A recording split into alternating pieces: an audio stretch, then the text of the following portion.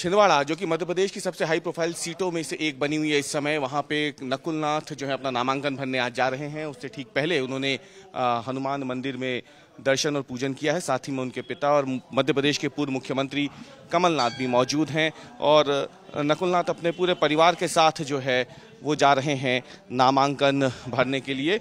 और अगर देखें आप तो तमाम लोग जो हैं समय कमलनाथ और नकुलनाथ से मिलने के लिए भी मौजूद हैं। कई अटकलें ज़रूर लगी, लेकिन जो हैं, उन अटकलों से दूर नकुलनाथ और कमलनाथ जो है, वो इस नामांकन प्रक्रिया में जाते हुए और अगर आप देखें तो पूरा परिवार जो है, वो यहाँ पे साथ में मौजूद हैं। नकुलनाथ और कमलनाथ जी के साथ और ये यहाँ से जा रहे हैं नामांकन भरने के लिए।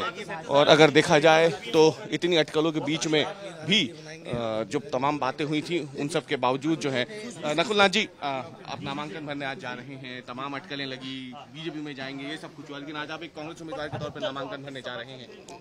ये आप प्रेस वाले तो मेरे पे विश्वास पहले दिन से नहीं कर रहे थे, आप ही अफवाहें फैला रहे थे। तो, तो आप आज हनुमान जी का आशीर्वाद लेने भी आए। बजरंग बली पहले भी हमने देखा है कि हर बार आप नामांकन से पहले या फिर कोई शुभ काम से पहले आप मंदिर आते हैं आज भी आप जा रहे हैं आशीर्वाद मिलेगा। पूरी उम्मीद है मिलेगा।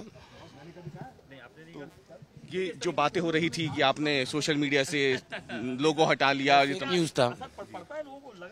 तो सर छिंदवाड़ा के इस बार क्या रहेगा नतीजा? क्या लग रहा है आपको जनता? क्योंकि कई सारे लोग सर छोड़ छोड़ के जा रहे हैं भाजपा में। नकुलनाथ हैं, जो नामांकन भरने जा रहे हैं, और उससे पहले आज तक ने उनसे खास बातचीत करने की कोशिश की है। कुछ बातें उन्होंने कही है, भाजपा में जाने को उन्होंने कोरी अफवाह करार दिया है। कैमरामैन अमरीश के साथ अवीश पाल सिंह, छिंदवाड़ा, आज तक।